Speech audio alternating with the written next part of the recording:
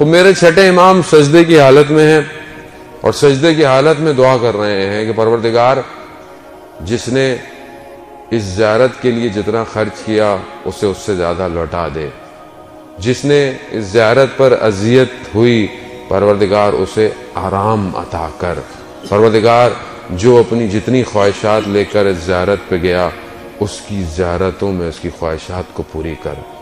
रावी कहता है कि इमाम ने सर सजदे से हटाया। तो मैंने कहा, मौला, ये किसकी ज्यारत का ज़िक्र कर रहे हैं? कहा, हुसैन इबन अली की ज्यारत का ज़िक्र कर रहा हूँ। कहा, मौला, ये जो आपने सवाब बयान की, ये तो बहुत ज़्यादा है।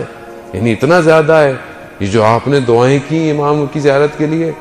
कहा, दुनिया वाले से ज़्यादा आसमान वाले इमाम हुसैन की ज्यारत के लिए दुआ करते हैं। यानी मलाइका ज़्यादा दुआ करते हैं ज़ाहिर इमाम हुसैन शब जुम्मा है। शब ज्यारत इमाम हुसैन अजान मोहतरम। यानी हर जुम्मा की शब जो है वो इमाम हुसैन की ज्यारत है। ये कमाल नहीं है। यानी एक ऐसी हस्ती परवरदिगार ने खल की कि हमारे लिए हर शब जुम्मा उसकी ज्यारत करना ज़रूरी हो जाता है। अब आप बोलेंगे, मैं कैसे ज्यारत करूँ? मैं तो करबला में नहीं हूँ। मैं तो यहाँ हूँ। आइए, इमाम की खिदमत में जब शख्स पहुँचा, इमाम ने पूछा उससे कि तुम हमारे जद की जारत पर जाते हो? कहा, मौला, साल में एक दफ़ा।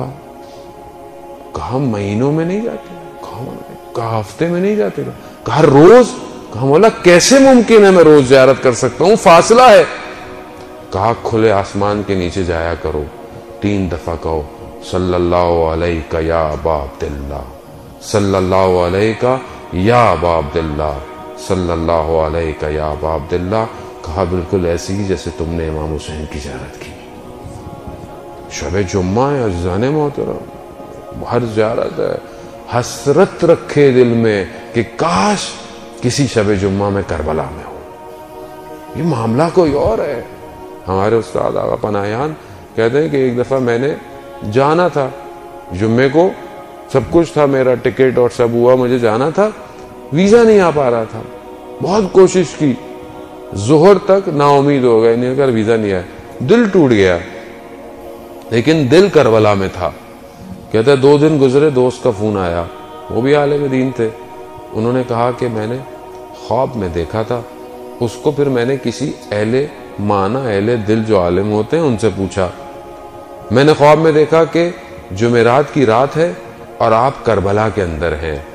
तो जब मैंने एक बड़े आले आलिम से पूछा तो उन्होंने कहा क्योंकि उसकी रूह करबला में थी। इसलिए इमाम ने उसे ज्यारत के लिए करबला बुला लिया।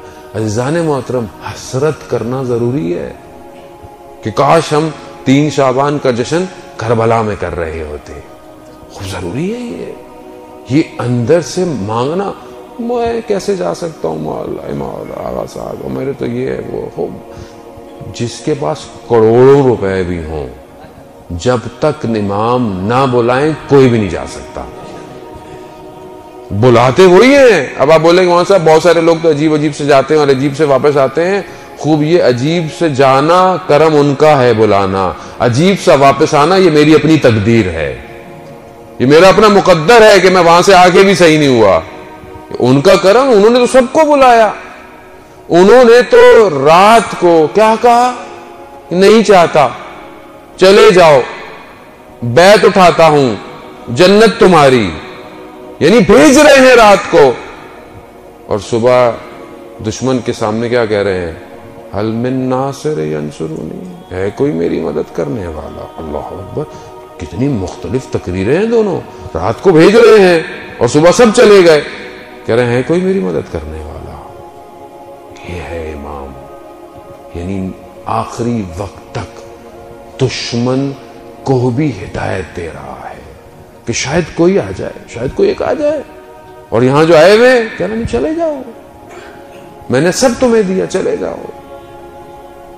रात को इमाम ने पूरी कोशिश की कि कोई भी खराब बंदा ना रहे, सिर्फ़ साले रहे मेरे साथ। और सुबह मुकाबले में सिर्फ़ अशकिया रहे मेरे। साले सारे पहले ही चले गए। रात को इमाम इस तरह कर रहे हैं कि इश्क किरत है, कुरान है, इबादत है, और सुबह सबने अपनी सारी जानें लौटा दी, कुछ नहीं बचा, सिर्फ़ हुसैन इब्ने अली अकेला खड़ा हुआ यानी वो बुलाते हैं। अभी हमारी अपनी जरफियत है कि हम वहाँ पहुँच कर लाते क्या है? ये करम है। दरो दीवार चूम के आ रहे हैं, या फिर कुछ लेकर आ रहे हैं। अजीजान मोहतरम तो जब छठे इमाम से कहा कि, मौला, ये तो आपने बहुत कहा कहा, दुनिया वाले क्या दुआएँ करेंगे? ज़ाहिर के लिए तो आसमान वाले दुआएँ कर रहे हैं। ये फजाइल है मेरे इमाम हुसैन का।